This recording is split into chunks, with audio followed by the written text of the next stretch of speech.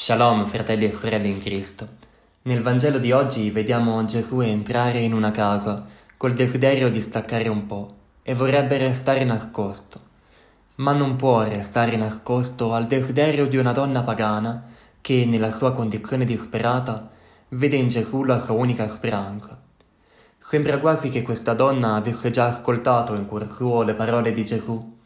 Cercate e troverete, bussate e vi sarà aperto. Lei ne è sicura e fa proprio così. Lo cerca, lo trova e si getta ai suoi piedi. E poi ancora bussa alla porta, supplica il Signore, ma lo fa con delicatezza, non sbatte i pugni sulla porta, perché nella sua ferma speranza sa che non ci sarà bisogno di sfondarla. Bussate e vi sarà aperto. La risposta di Gesù suona come un'umiliazione.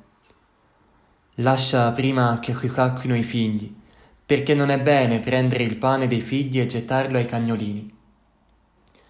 Ma lei, che già all'inizio si era gettata ai piedi di Gesù e perciò si era messa a terra, è una donna umile e ancora una volta si pone a terra, sotto la tavola, sicura di poter raccogliere le briciole della bontà del figlio di Dio. Così questa donna pagana con la sua umiltà apre le porte al bene che Dio ha in serbo per lei. Per questa tua parola va, il demonio è uscito da tua figlia. Ricordiamoci sempre anche noi, l'umiltà, la sottomissione, l'obbedienza aprono le porte ai disegni divini. Preghiamo.